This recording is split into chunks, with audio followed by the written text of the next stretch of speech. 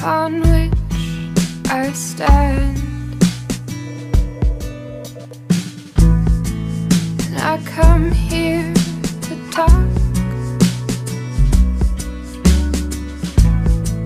I hope you understand.